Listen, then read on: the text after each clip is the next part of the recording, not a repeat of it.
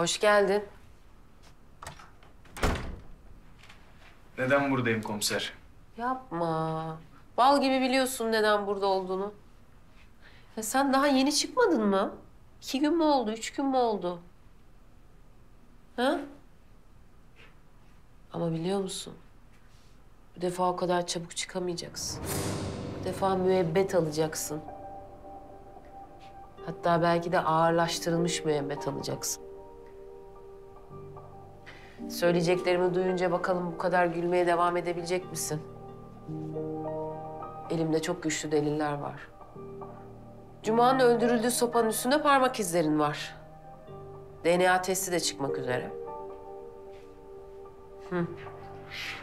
Ya. Ha ben müebbet diyorum. Sen insaflı bir savcıya denk gelirsin. 35-40 yılda yırtarsın belki. Bilemem. Ne istiyorsun?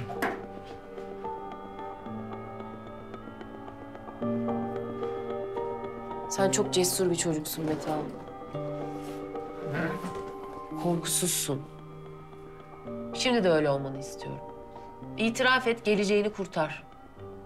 Şimdi yapmadım dersen sonra bunun telafisi olmaz.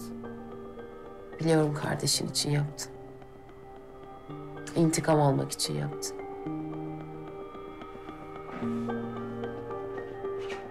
Ağırlaştırılmış müebbet nedir biliyor musun Metehan?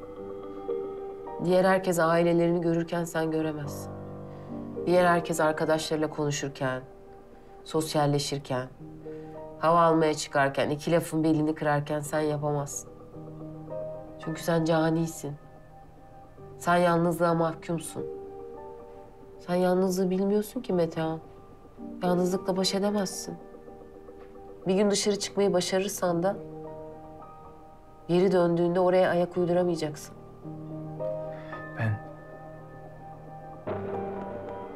İsteyerek bazı... Komiserim. Azem Demir Kıran burada. Dilerseniz avukata gelince konuş.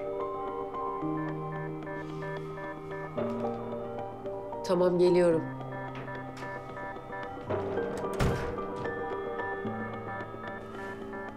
Son şans.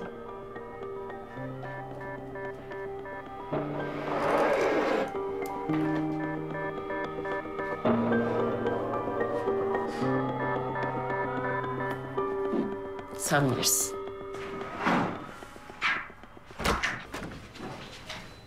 Gel misin? Sağ ol. Hayırdır gece gece operasyon düzenlemişsin. Savcının haberi var mı? Evet. Azem Demirkıran'ın oğlunu tıkacaksın içeri taktın kafaya. Kimseyi kafaya taktığım falan yok. Ben sadece adalet yerini bulsun diye uğraşıyorum. Sen de biraz uğraşsan mesela. Olur uğraşırım. Çocuğu Metehan mı öldürmüş? Evet. E, elinde kanıt var o zaman. Ne buldun söyle ben de sana yardımcı olayım.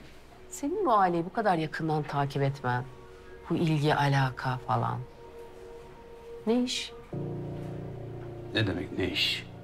Demirkıranları tanımayan mı var? Ama bu da soru mu şimdi yani? Sana yardımcı olmaya çalışıyorum. Ne oluyor birbirimizden kanıt mı saklıyoruz? Cuma'nın öldürüldüğü demir sopayı buldum. Üstünde Meta'nın parmak izi var. Ee, adam öyle anlatmamıştı hani otopsi raporu falan. Rüzgar komiser, benim müdürle bir şeyler konuşmam lazım. Sonra devam ederiz, tamam? Ya bu arada biraz sağlığını düşün ya. Sabah akşam yiyorsun.